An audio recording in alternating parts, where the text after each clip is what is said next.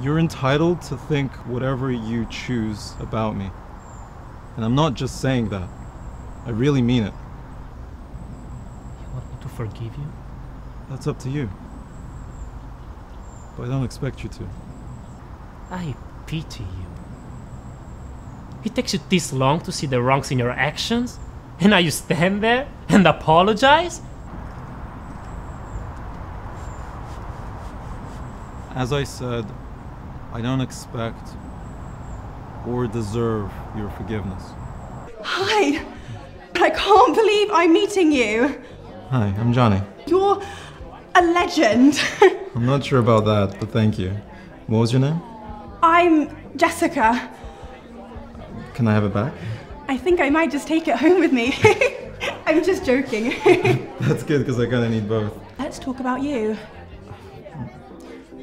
Really, there's not much to talk about. You've won every one of your last nine fights. I'd love to stay here and chat with you, but I've got to go to the little boy's room. See, what I tell you? Read the reply. Where's the reply? Scroll up. Oh, you're disgusting, you know that. Hey, I had to make sure you believe me. Dear Luke, I had a lovely time too. Linda. See? What are you doing? I'm just forwarding it. What?